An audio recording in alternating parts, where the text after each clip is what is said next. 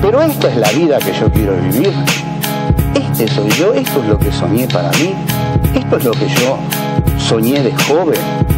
¿Hasta qué punto estoy traicionando absolutamente mi juventud? Este, porque yo, yo pensé algo para mí cuando era joven.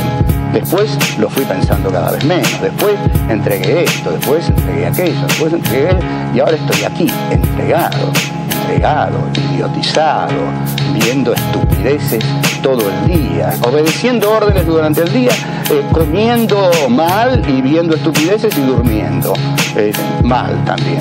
Esto tiene que cambiar. Ese momento exacto es el de la conciencia crítica, el de la conciencia crítica. La conciencia crítica es ese momento en el cual el individuo descubre su yo, su yo verdadero, íntimo, el yo desde el cual él, él se permite cuestionar su propia vida y el mundo que lo rodea.